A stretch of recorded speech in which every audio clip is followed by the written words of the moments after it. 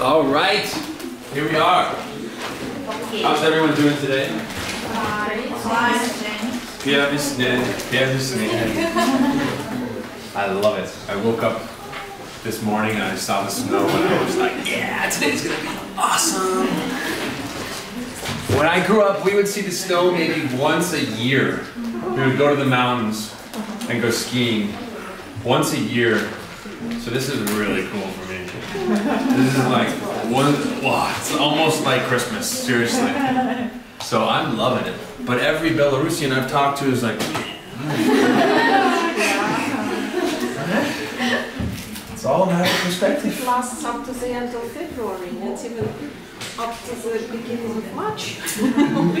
Maybe in January I'll be like, yeah, too. But right now, I'm, I'm loving it. So our topic today is a really hot one. Yeah? The elections. Trump and Clinton. We're gonna talk all about it. Yeah? Has anyone followed this election? Has anyone? Yes, you have. Yes.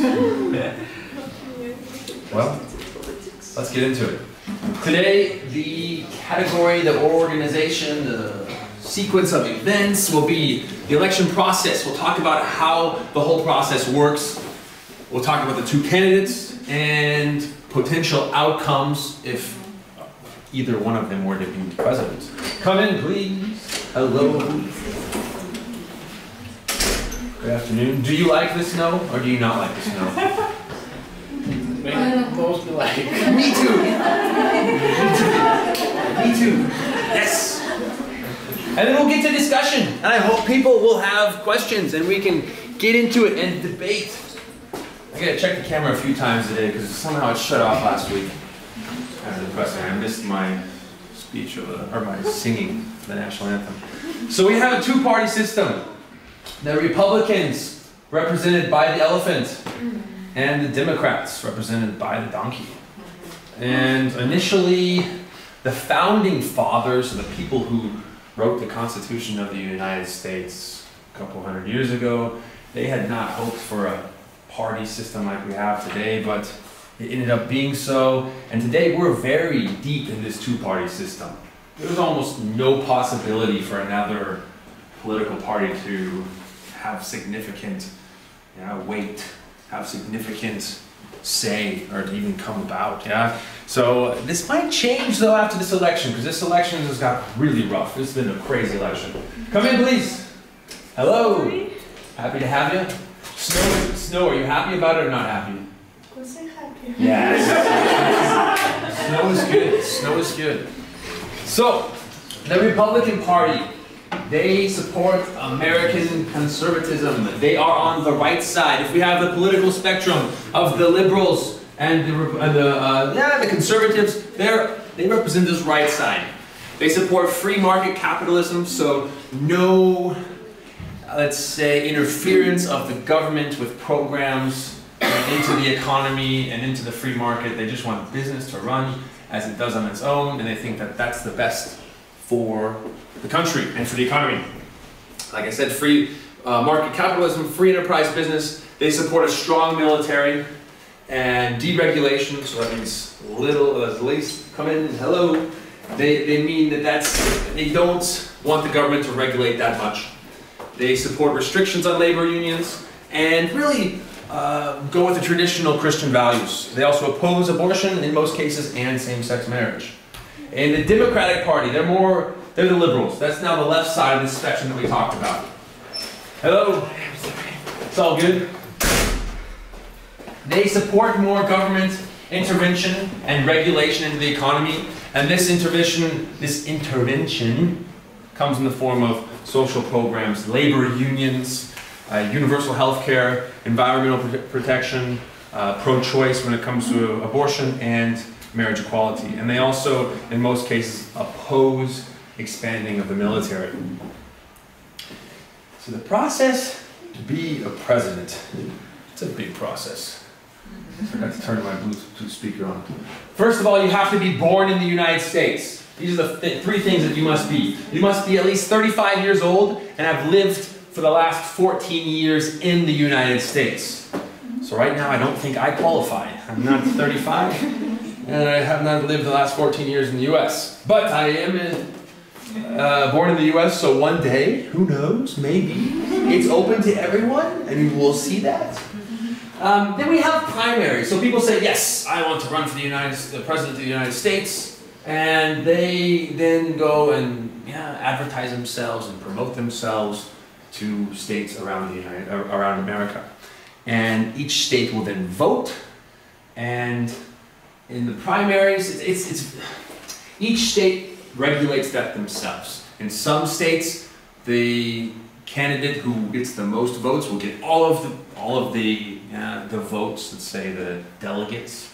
And in other states, it's apportionated. So if one candidate won 30% and the other one won 60%, then they get that, st that state's a portion of delegates regarding as a comparative to the percentage of vote that they got. The delegates are allocated to a state by the size of the population. It's proportionate to the population. Okay? Now, when they get through that whole system of all the states voting in the primaries, so this is like the first round, okay? With many different candidates for each party, the Republican Party and the Democratic Party. There's an independent party, but they've never really had much weight, so we'll just focus on the Republican and the Democratic Party. And um, then they meet at a national convention for the Democrats and for the Republicans. And the Democrats will say, okay, hey, this person won the most, that's going to be our candidate. And the Republicans will do the same thing.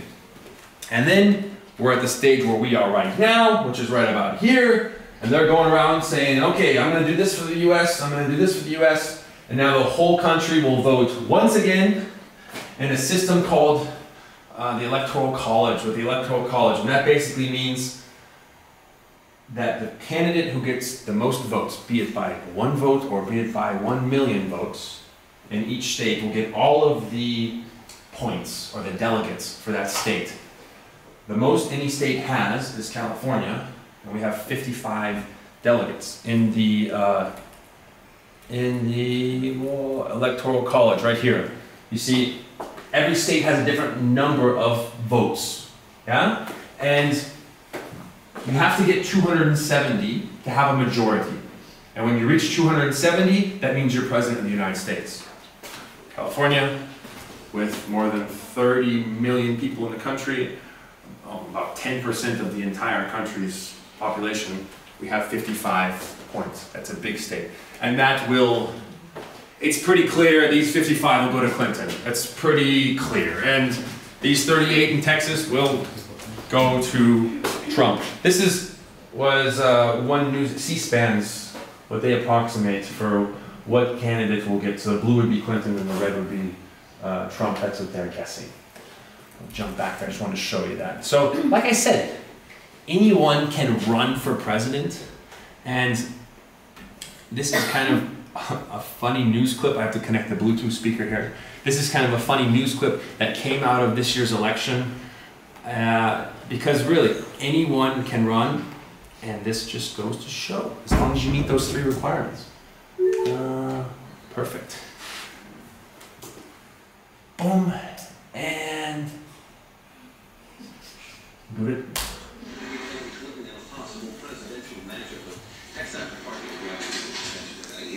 third party candidate on that poll. Candidate named Deez Nuts. Oh, no. Really? A candidate registered as an independent from Iowa with the legal name of Deez Nuts. Public policy polls showed him pulling 9% of the vote in North Carolina. He's also approached double digits on polls in Minnesota and Iowa. So this guy who had a legal name, Deez Nuts, he got no name. He got 9% in, in, in some states. In other states, he got 10%. No one knows who this guy is. so anyone can run for presidency, but like I said, it really just comes down to the Democratic and Republican Party, the way that the system is set up right now. These were all of the people from the who were in the contest to be the Republican nominee. There's a lot. You may recognize some people. This is Jeb Bush. He was George Bush. He is George Bush, Bush's brother. Um, one woman, Carson was also in the mix. and, there, and there's Trump. And as we know, he would win the nomination from all of these people. It was very controversial, but uh, he ended up winning that. One guy, where's Ted Cruz? Uh, Ted Cruz, I don't see you. Ted Cruz is in there somewhere. Anyways, um, one of the guys who was in this original group, uh, all these people would actually turn around and say, okay, hey, you should vote for Trump at the convention. But one guy said, no, this is really not a good, good thing to do, and he said that in, in front of everyone. Uh, and that was a huge controversy at the convention. For the Democrats, there was O'Malley, Sanders, and Clinton in the primary elections. I can tell you my vote went for Sanders. And Europe, he would be kind of, in Western Europe, he'd be a standard politician. And in America, with his uh, kind of socialist, socialistic ideas, it was, uh, I would say, too far left for where America is today.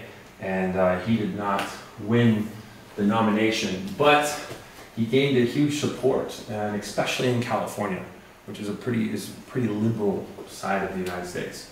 But as we know, Hillary Clinton was nominated at the Democratic National Convention, and now she is the Democratic representative. So uh, there was a, a lot of this was a really strange election year. We've never seen a year like this before, and I'm not just saying that. It's just, it's it was really strange, and we're going to see the whole political process in the United States change because of this year. I do. I'm quite certain. One of these things is that for, only for the Democrats in this primary for the first vote, you have a thing called super delegates, and no one paid much attention to this in the past, but this year um, this became in front page news. The fact that the super delegates are actually the most undemocratic thing of the Democratic Party. Basically, what it means is that a select number of people who the Democratic Convention picks, they get 15% of the vote, and the people, the population's vote, they get the rest of the 85%.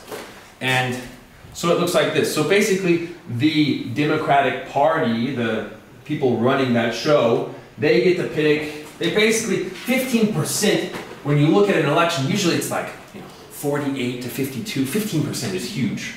So they can kind of sway this any way that they want. The Republicans don't have this. Um, this is only for the Democratic Party selecting their nominee. And this, like 14 or 13% of this 15% went for Clinton, and that kind of knocked Sanders out of the running. And a lot of people were fed up about this and were not, not happy about this. So in the future, we may see this changed. This has only been around since the 60s. This was a huge conspiracy, this was a huge issue for the Democrats, and a lot of people were not happy about this, that they were kind of pushing for Clinton the entire way. Uh, here's a, a comment that says, faster than a, super delegates, faster than a primary election, more powerful than any caucus or primary results, able to dictate a nominee no matter who got the most votes. Come on in. So the people could vote for one candidate, say Sanders, but the superdelegates would, would push the percentage over to Clinton's side. And like I said, the most undemocratic thing of the Democratic Party that really was unearthed this year. And I think we may see that change in the future because people were not happy about that at all.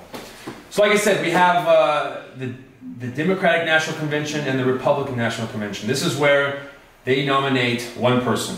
And uh, it looks I'll show you a short clip from both of them, one from the Democratic side and one from the Republican side.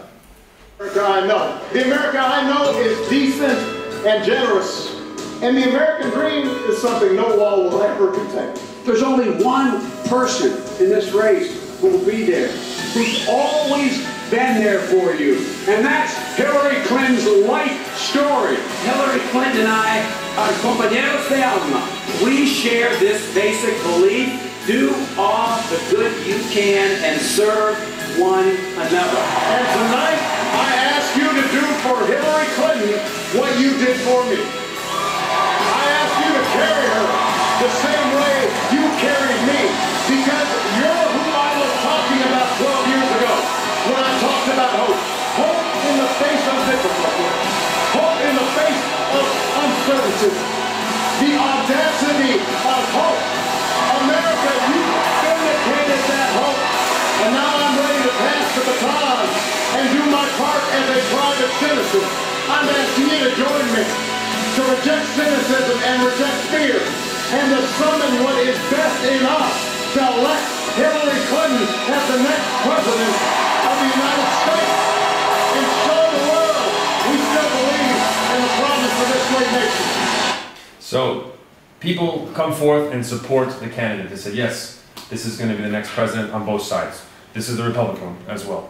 Now, he may not always tell you what you want to hear. You may not always agree. And it may not always be politically correct. But when your father's Phil Robertson, I'm used to that, okay? But for you first-time voters, it's important for you to know what it means to be an American. It doesn't mean getting free stuff.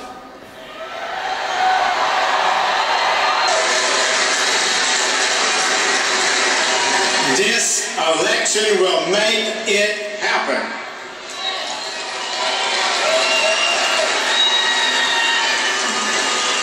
That is why we need Donald Trump.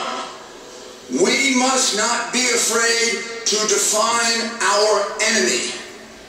It is Islamic extremist terrorism. intends to represent all the people, not just some of the people. That includes Christians and Jews and Muslims. It includes Hispanics and African Americans and Asians and the poor and the middle class.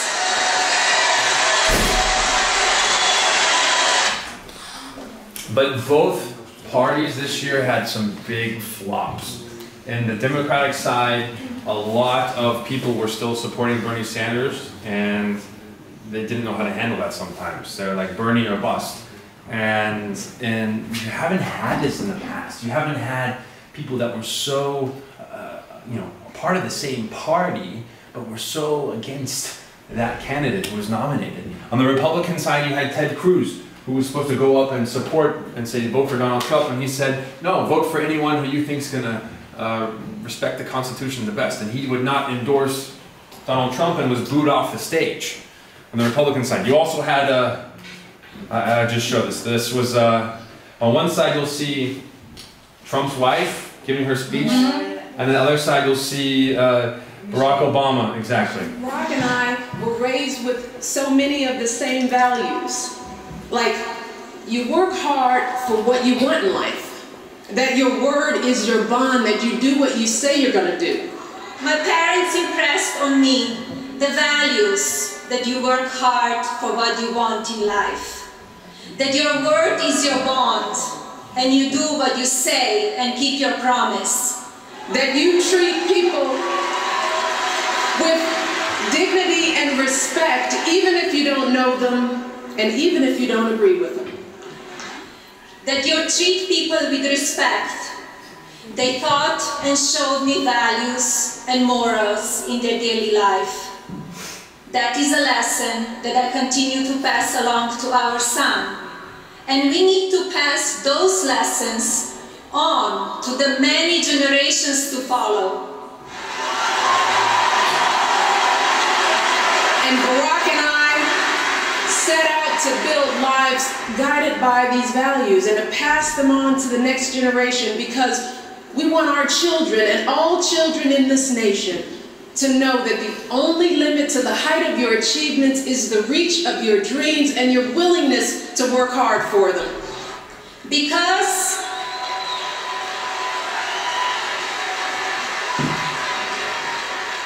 Because we want our children in this nation to know that the only limit to your achievements is the strength of your dreams and your willingness to work for them. So, like I said, both conventions had their scandals or fallouts, and uh, yeah, you saw opposition in both of the conventions that you've never seen before. Usually, it's a very positive. Yes, we're going to win. And no, it was like, hey, we have separation within our own our own group. You know. Um, so, like we saw this earlier, this is the electoral college. This is what's going to happen on Tuesday. Every state will vote. You vote through your state. So I vote through California, and the candidates are fighting for winning each state. Doesn't matter if it's one vote or if it's a million votes. If you win in the popular vote of one state, you get all the points. So, the electoral college votes. So you could actually get more votes through the popular vote through the whole country, but actually lose the election. And that happened the first time George Bush was elected. And so this electoral college was initially established to fight ballot or so ballot box stuffing or corruption. Yeah? But it was established 200 years ago, and it's uh, there's there are movements to uh, eliminate this, and I think that in our lifetimes this will no longer exist. I wrote a paper when I was 18 in high school how this was crap.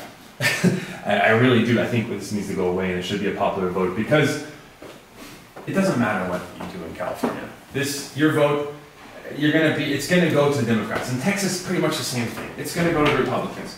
And the whole election comes down to these states, yeah? Iowa, Indiana, Ohio, Florida. It all comes down, that's where all, the whole election comes down to. So one person's vote in Iowa or in Florida has a lot more value than one person's vote in Texas or California.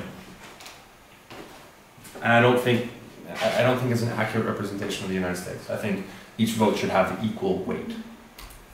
So, candidate profiles. Donald Trump. Ha, have, had you heard of Donald Trump before the elections? No. No. Yes, some, some yes, mostly no.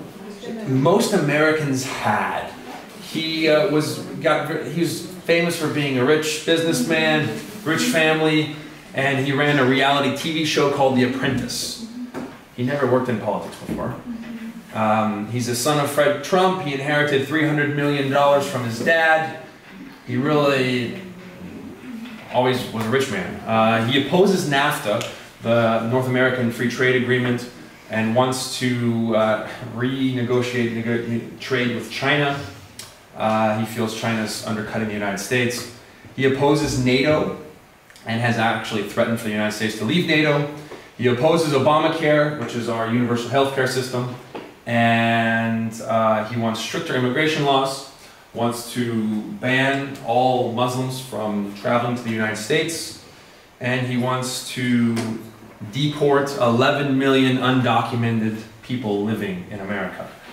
Uh, wants to increase military spending, uh, increase fighting against ISIS, and to reinstate uh, waterboarding and other forms of torture against uh, terrorists and people who we have locked up. Uh, he considers to lift the sanctions against Russia and recognizes Crimea as Russian territory and is open to working more openly with Putin. Hillary Clinton is the former Secretary of State and Senator of New York, pretty much a lifetime politician. Uh, she's the wife of former President Bill Clinton in the 90s. Uh, she approved for the war in Afghanistan and voted for, uh, as well as, as in Iraq, uh, even though she later said that she regretted it and she advocated for military intervention in Libya, voted against the, the Bush tax cuts, uh, voted against drilling for oil in the Arctic, and supports these undocumented workers and residents in the United States to having a way to become legal in the United States instead of deporting them out. Uh, it, it, supports expanding uh, LGBT rights and women's rights, she wants to establish paid parental leave, that like maternal leave, which we learned a couple weeks ago that we don't have in the United States. You have a child and you could be born, or you, you could have a child on Friday and your employer may say, hey, you need to be back at work on Monday or else you lose your job. Such things happen in the United States. Not, not always, but we don't have any law regulating that. Um, also supports universal preschool. Where do they stand on the hot topics? Um, so Donald Trump, he's a businessman. He wants to cut the taxes of businesses from 39% down to 15%. And Hillary imposes increasing taxes on those who make more than $5 million. Um, in, in, on immigration, he wants to deport, uh, Trump wants to deport the 11 million illegal immigrants living in the United States. That's more than the whole country of Belarus and wants to build a wall on the Mexican border. There already is quite a divide, and it's, I've seen it myself, it's, it's a pretty intense border. but wants to build a wall as well.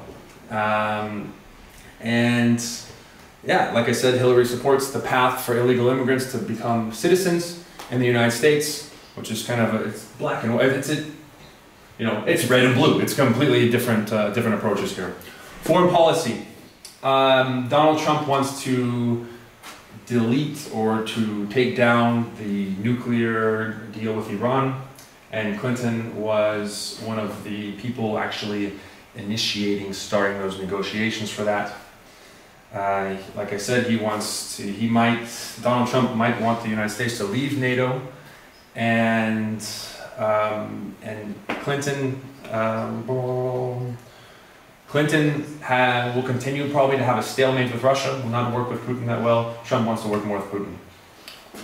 And personally, I think that's the one positive I see in, in Trump's candidacy is that he, America and Russia would have better relations. Um, energy, Trump wants to build, it's called the Keystone XL pipeline. It's a huge pipeline. We already have one link. He wants to build a second link that comes down from Canada for our oil. Clinton is against it.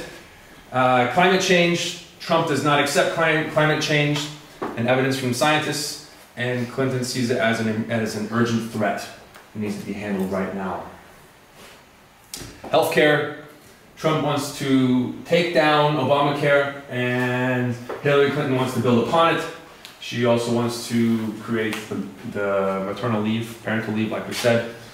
Uh, I don't know what Trump it, it plans to do then if we take down Obamacare. America is currently ranked of all the developed nations in the last position for healthcare. Healthcare is a serious issue in the United States, and uh, I can see how my life has gotten much better since Obamacare came into place because I had healthcare for free until I was 26. So, um, Trump is against abortion. Abortion always comes up in the US elections every year. It's a huge issue. It comes up every year. Gay rights and abortion always come up. Trump is against it. Uh, Hillary is for women's choice and education.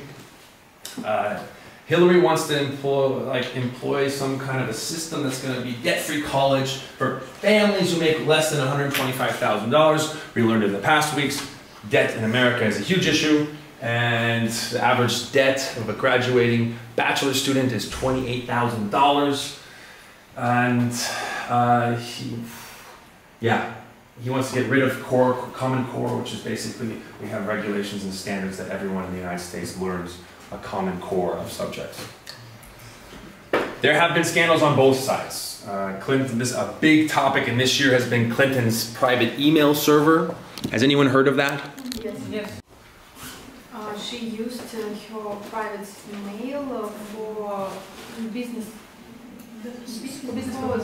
Exactly. Not for your private life, but for politics different topics. Exactly. All of her work as Secretary of State, she did under her private email. It was more than 60,000 emails. And an F FBI investigation went into this. And it was the director of the FBI, James Comey, said in July that our judgment is that no reasonable prosecutor would bring such a case against Clinton, but that they were extremely careless in their handlings. So it didn't put the United States into threat, into threat, but it was very careless and could have actually been, uh, you know, very damaging to, to the security of the United States. Um, that's been opened up actually in the last last week or two, and they're looking into that again now. Um, but that's been a huge, you know, a huge scandal for Clinton that she's had to deal with now for more than a year. Yes. I'm sorry. And who initiated this process? Who disposed you? I don't know. I don't know. Nobody knows. Um, I'm sure. I'm sure it, was, it came from the Republican side. I don't know. I don't know who. Um, maybe you could find out online. I don't know. But it has been exposed, and everyone knows. And uh, but through the process, it was also exposed that even Colin Powell in the, in the past did this too. Not 60,000 emails, but a lot of politicians had actually been using private phones for classified information. Um, I, I don't know who exposed it exactly. I just know it got all the way to the director of the FBI and that they have been and are looking continually into it. Um, for Trump, he's offended a lot of demographics. In his speech saying, I'm going to run for president of the United States, he said that the Mexicans are rapists and terrorists and they're bringing drugs to the U.S. Um, Uh, we'll play this video and then we'll talk about it. Whether it's bombast I could stand in the middle of Fifth Avenue and shoot somebody and I wouldn't lose any voters, okay? or bluster, I would bomb the out of them. one thing is certain Donald Trump does not mince words on the campaign trail. He said he's that's terrible. Terrible. Trump repeating a vulgar word shouted by a woman in reference to Ted Cruz earlier this month. Would be worse. Or using a crude Yiddish word to describe Hillary Clinton's loss to Barack Obama in 2008. And She got schlonged. She lost. And Trump doesn't limit his attacks to rivals. He leveled some tough talk at a protester Monday night in Las Vegas. like to punch him in the face, I'll tell you. Trump, fully aware of the force behind his words. It's amazing. You know, whenever I want to knock out a protester, I just talk about the wall, the place goes crazy. Nobody ever hears the protest. Trump's coarse language has been a hallmark of the real estate mogul's campaign since the day he announced his candidacy, using charged rhetoric talking about undocumented Mexican immigrants entering the U.S. They're bringing drugs, they're bringing crime, they're rapists, and some, I assume, are good people. Such comments might have tripped up other candidates, but Trump's inflammatory rhetoric hasn't seemed to hurt him with Republican voters. He's not a politician. He owes nobody. And I know he's, he's brash and can sound rude, but he's saying the things that we want to hear. I like how she says she's saying the things that we want to hear because I would say this was the case for a minority percent until just a couple weeks ago because he said all these negative things about Mexicans, about you know, about blacks. He mimicked uh, the disabled people once, and and in, in, a, in a in a rally, and no matter how many groups he offended, there still was a, a force that was like, yeah, no, we we support Trump and we we were with him all the way. Until a couple weeks ago uh, when uh, and he would do it openly. But when a private tape came out or he was in a tour bus talking to a younger man kind of trying to impress him and talked about how he can just go up and grope women and touch them and violate them just because he's famous when that came out a lot of his republican party supporters and other those other guys that we saw who were running for president a lot of them dropped their support for trump and in a way that showed that, yeah, America, even in this private conversation, will not stand for discrimination against women. But yet there still is a small, there still is a minority percentage with a loud voice who do, who, who do support racism against Mexicans and against, uh, against Muslims and against blacks. That, that, is a, that is an issue in the United States, and there is a percentage who do support that and have supported Trump even with those words. But when it came to women, he lost a lot of support, and a lot of his own party members said, no, I no longer support Trump. And that was reassuring. I presented in the gender conference last week, and that was uh, one of my selling points that, yeah, America has really gone very far in the regards to gender equality. So, potential outcomes. If Trump becomes president, this is what I personally forecast, or what I would, what, from what I know, or what I believe would happen. Uh, the U.S. would have decreased relations with Japan. Japan is was our greatest ally in, in, in the, in the uh, Asian sphere, and we have a lot of military there and kind of watching what's going on in North Korea. Trump no longer wants, uh, wants Japan to pay for all of the American soldiers who are there, and so we would likely move out of Japan unless they would pay for it. Um, so we'd have decreased relations with Japan, Mexico, it's clear, yeah, uh, and uh, the European par partners. The biggest partnership with the, with the European partners is, uh, well, militarily, it's through NATO, but they're also huge economic partners for us. We do a lot of, a lot of business with Germany, and I, I, see, this, I see this decreasing as well. Uh, we would have increased co cooperation, cooperation with Russia. Uh, right now, economically, we don't really do much with Russia. There's not much. I we send, we send some chicken there from Texas and whatnot, but I was in Siberia and this guy was like, American, hey, you know what? We get all our chicken from Texas and this box comes and it says Texas chicken. that was his association with America, Texas chicken.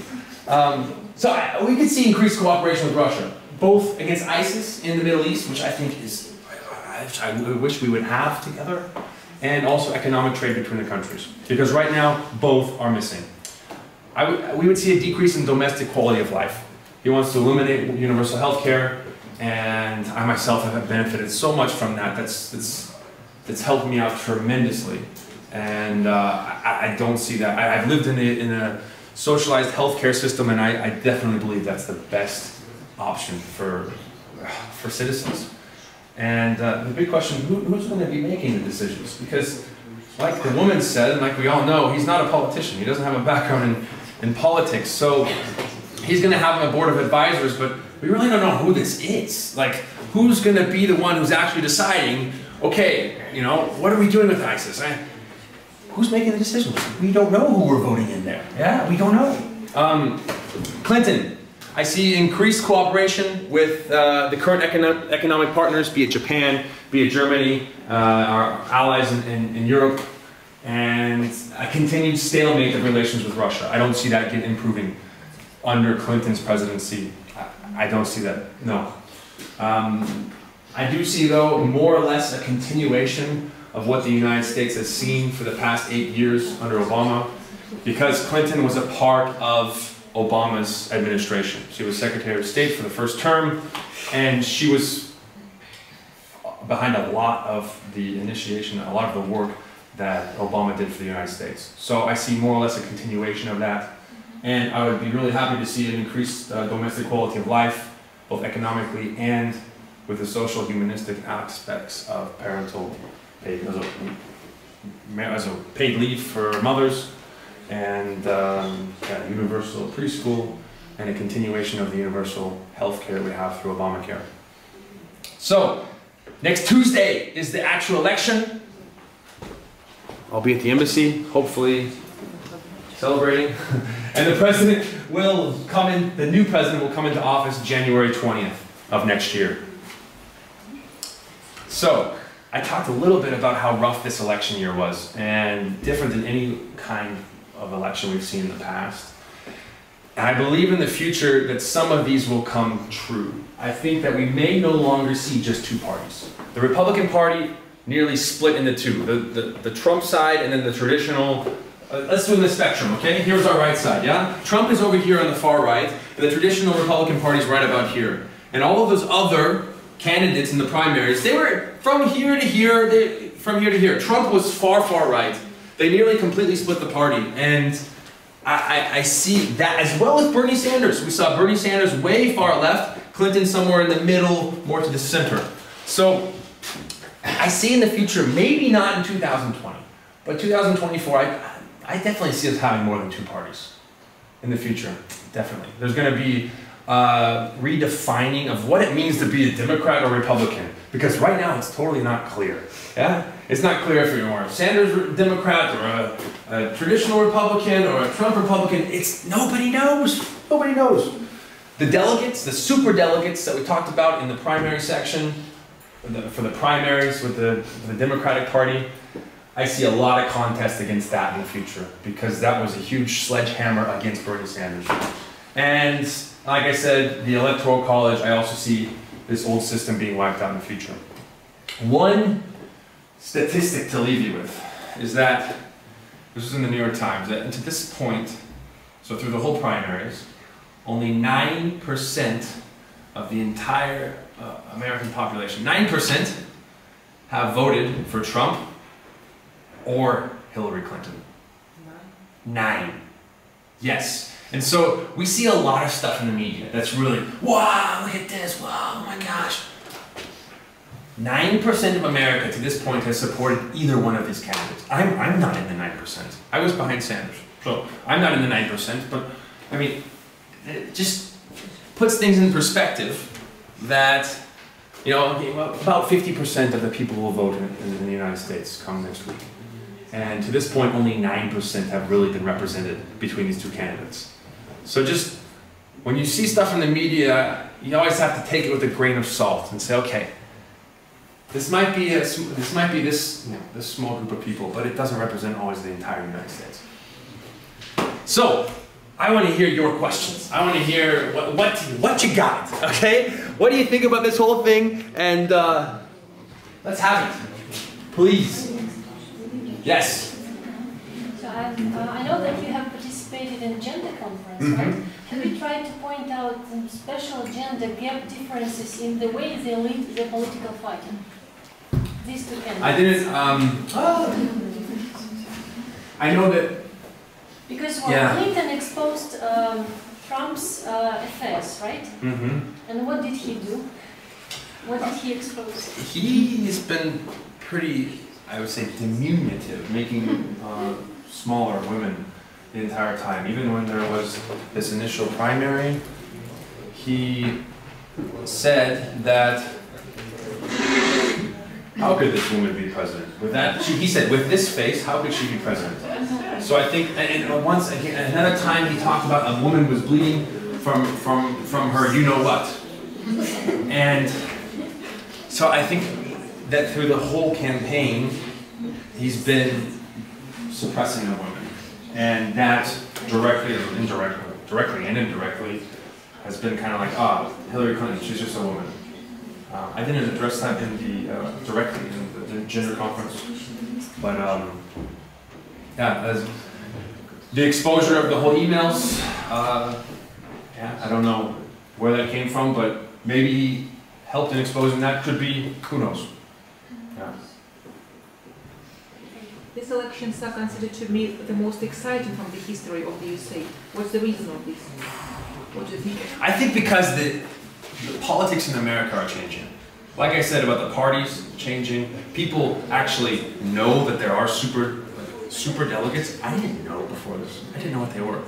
No one really talked about it. And so it's a changing time of, in politics in America. It's, it's evolving. And uh, the demographics of America are evolving too. There was a great article I read that America is becoming browner because of immigration, and so is the Democratic Party. And this, this demographic that Trump is kind of appealing to is kind of an old 1950s white majority as a dying demographic, almost like, no, we don't want to give up our, you know, our superiority uh, of this white America. But the fact is that I'm a minority now in California as, as a white person. Well, we have more Latinos. And I have no problem with that. So I think it's an evolution in American politics and also the, the demographics of the country in general.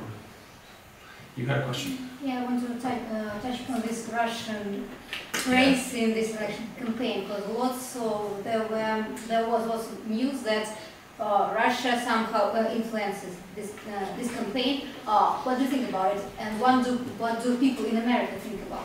it? Is it true? Is is Russian influence is really so uh, so strong?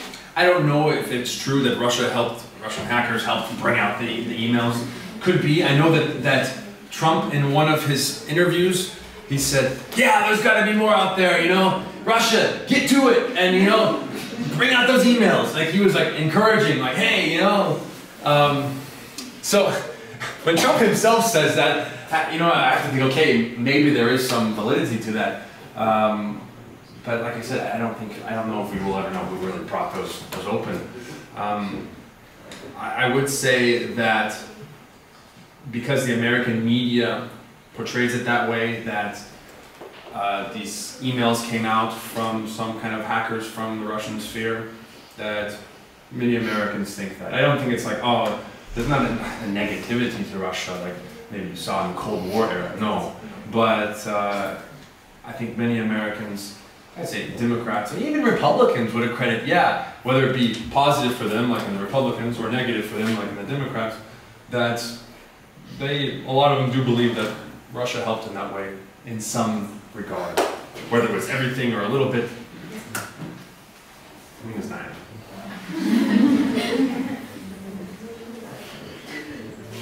Yes.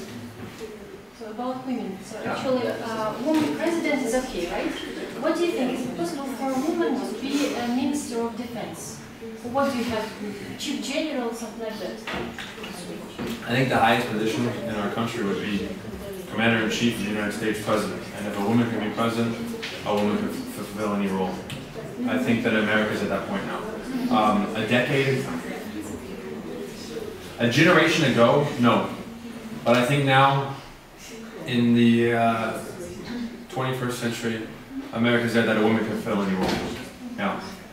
Um, and I, from the gender conference, I also discovered that there's actually more women middle management uh, and upper management, middle, middle to upper management, there's more women managers than men.